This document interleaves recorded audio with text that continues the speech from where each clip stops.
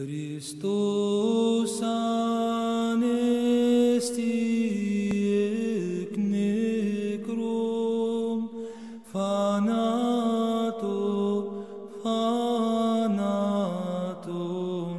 patim.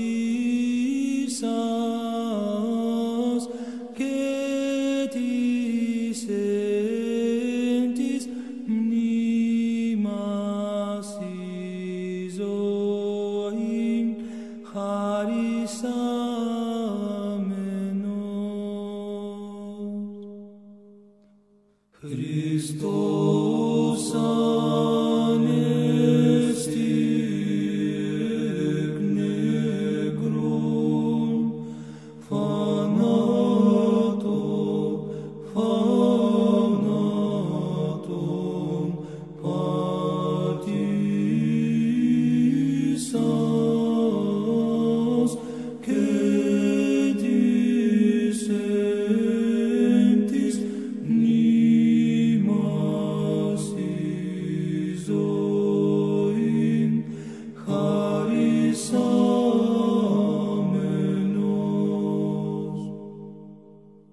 Christos